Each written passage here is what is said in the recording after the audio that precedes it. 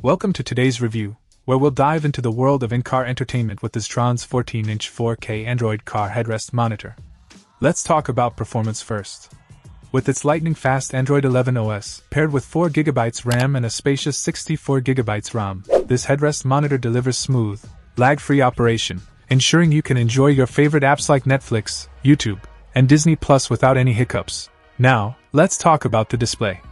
Featuring a stunning 14 inch IPS touchscreen with a resolution of 2K 2160 by 1440, this monitor offers an immersive viewing experience, displaying crisp, sharp images with vibrant colors.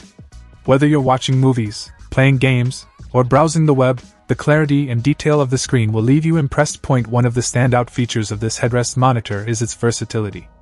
Thanks to its rotatable design and built in gyro sensor, you can easily switch between portrait and landscape modes, maximizing your viewing experience. Plus, with support for AirPlay phone screen mirroring and HDMI input output, you can easily connect external devices like smartphones, game consoles, and laptops, expanding your entertainment options even further.